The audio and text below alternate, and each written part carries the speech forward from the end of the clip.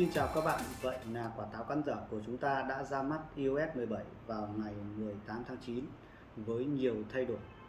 nâng cấp về tính năng, giao diện người dùng cũng như là bảo mật. iOS 17 hỗ trợ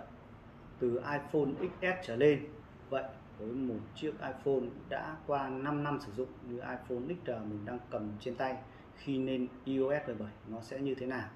Thì mình xin trả lời luôn với các bạn rằng khi lên iOS 17 máy sẽ chạy chậm hơn, nóng hơn và hao pin nhanh hơn. Có hai lý do để giải thích cho vấn đề này. Thứ nhất, bản cập nhật iOS 17 của Apple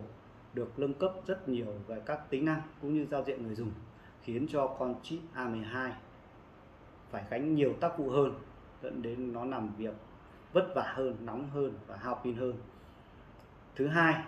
là đối với các nhà phát triển ứng dụng họ luôn luôn cập nhật các tính năng mới cũng như là các tính năng bảo mật và giao diện người dùng, làm cho máy của chúng ta cũng phải vất vả hơn để gánh các ứng dụng đó, dẫn đến nóng máy, chạy chậm và hao pin. Chiếc iPhone XR của mình lên iOS 17 từ bản beta đầu tiên đến bản chính thức thì mình dùng cảm thấy rõ rệt là nó có thay đổi về tốc độ xử lý cũng như là pin từ mình có dùng một số tác vụ nặng như chơi game đồ họa cao và vừa gọi video call, vừa lướt web,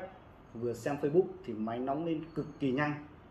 Mình cảm giác khi cầm máy và vừa gọi video call, vừa lướt Facebook thì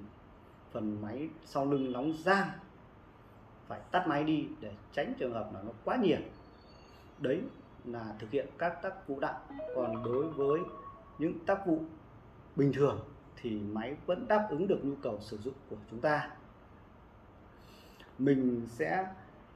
thực hiện đa nhiệm trên chiếc iPhone XR iOS 17 để cho các bạn xem là nó xử lý các tác vụ đa nhiệm như thế nào, liệu có đáp ứng được nhu cầu sử dụng của các bạn hay không để chúng ta cân nhắc lên lên iOS 17 hay ở lại với phiên bản cũ.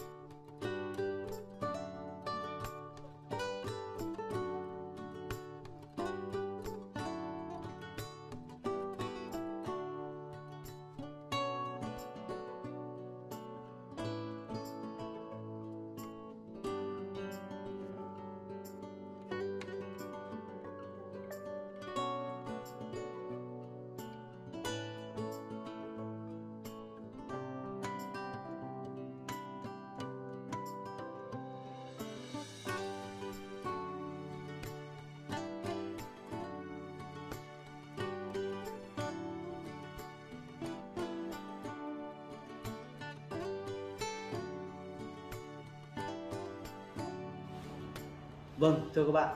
với các ứng dụng nhẹ thì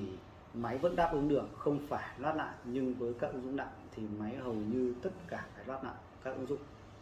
Hãy cho ý kiến của mình dưới phần bình luận để xem liệu có lên iOS mới hay ở lại phiên bản cũ hay không. Xin chào và cảm ơn các bạn đã theo dõi video.